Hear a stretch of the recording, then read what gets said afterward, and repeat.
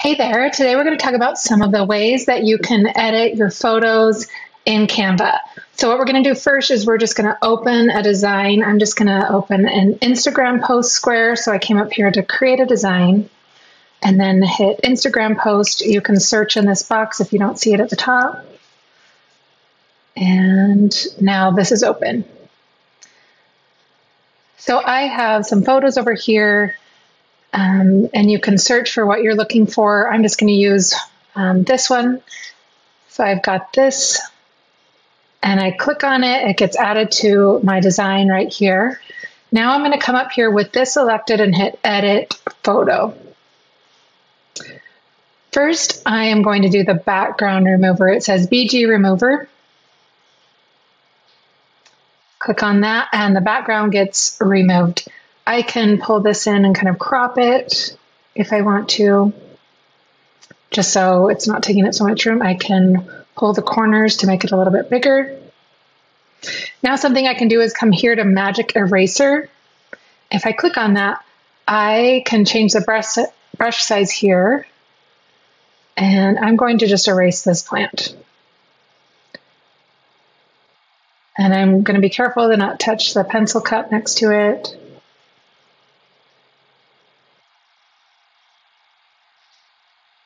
And we're going to see how that turns out. Okay, I'm going to pull this in a little bit more and center it.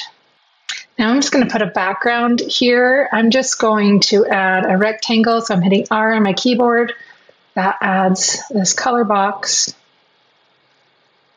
Now I can put this in the background. I'll just change it to one of my brand colors. And now I'll go to position and pull it to the back. And now I'm just going to give my background a color.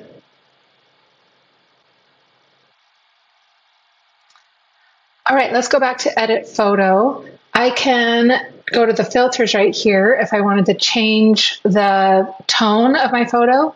And I'm just going to play with some of these. You can see what you like here. Uh, I'm just playing around with um, the different type of filters. And if you can pull this little bar underneath, it takes away some of the intensity of the filter. I can also come in here and hit adjust and I can change the the tone again here, like the temperature and the tint. I can change the brightness a little bit, um, play around with this here. Once you have the photo looking the way you want to, you can add text. I'm just going to come here to text. I have got my brand kit set up so I can hit heading. That's going to pull in um, my fonts and can hit subheading. Add that here. I can come in here to my brand kit and click logo and my logo gets added just like that.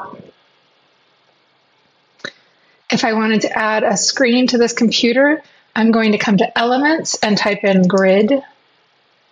And I'm going to hit this grid option right here. It's going to fill up the whole page, but I'm going to make it so it's just filling up that computer screen. And it's stuck in the back, so I go to Position, and then I slide it on top of the computer. There it is.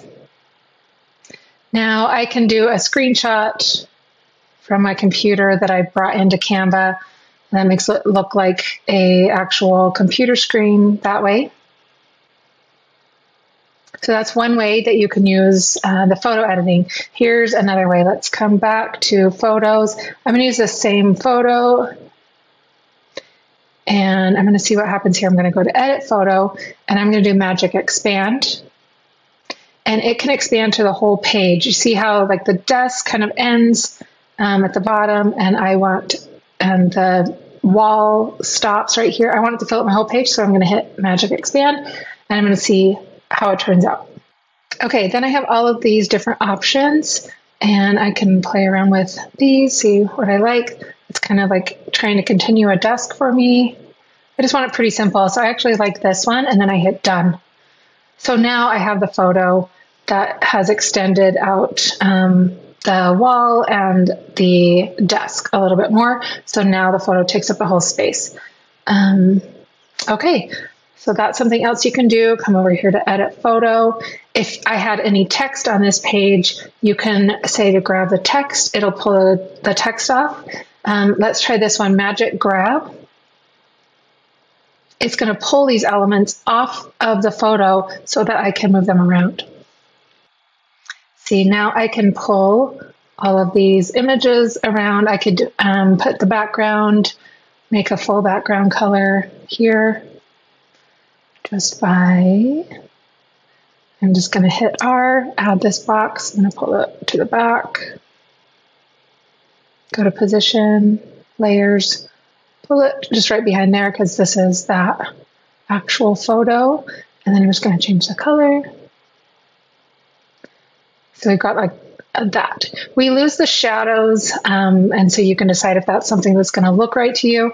Um, but it's a fun way to pull things out of photos and um, just use little pieces of what you need to really make your design pop. All right, I hope you enjoyed that little tutorial and have fun using photos in Canva. We'll see you next time.